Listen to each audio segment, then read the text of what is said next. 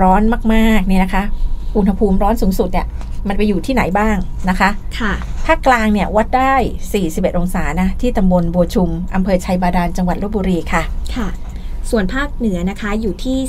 39.7 องศาเซลเซียสค่ะ ที่อำเภอเมืองเพชรบูรณ์จังหวัดเพชรบูรณ์ค่ะ ค่ะ ภาคตะวันออกเฉียงเหนือนะคะ อุณหภูมิอะอยู่ที่ 39.5 องศาเซลเซียส ที่อำเภอโกสุมพิสัย จังหวัดมหาสารคาม แล้วก็ที่อำเภอโชคชัย จังหวัดนครราชสีมาค่ะค่ะ ส่วนกรุงเทพมหานครและปริมณฑลเมื่อวานนี้นะคะ อุณหภูมิสูงสุดเนี่ยวัดได้ที่ 38 องศาเซลเซียส อยู่ที่อำเภอคลองหลวงจังหวัดปทุมธานีค่ะ ค่ะ วันนี้นะคะทางกรมอุตุนิยมวิทยาเนี่ยเขาก็ออกประกาศเป็นฉบับที่3แล้วในขณะที่ใช่เราพูดคุยกันค่ะอยู่เนี่ยแหละนะคะค่ะก็เตือนนะว่าวันที่ 19 ถึงวันที่ 20 มีนาคมที่จะถึงเนี้ย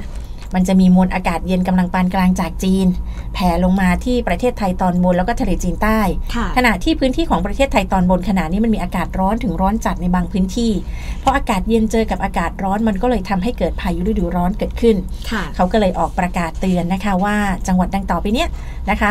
จะต้องเตรียมรับสถานการณ์พายุฤดูร้อน คือฝนมันจะตกเป็นฝนฟ้าขนอง มีลมกระโชกแรง มีลูกเห็บตก บางแห่งบางพื้นที่ และบางพื้นที่เห็นเขาบอกว่ามันจะมีฟ้าผ่าเกิดขึ้นด้วย ใช่ค่ะอ่อย่างวันเนี้ยเขาเตือนไว้วันที่ 19 มีหลายจังหวัดเลยนะคะ ใช่ค่ะ ส่วนใหญ่เนี่ยจะเป็นอ่าทางตอนบนนะคะ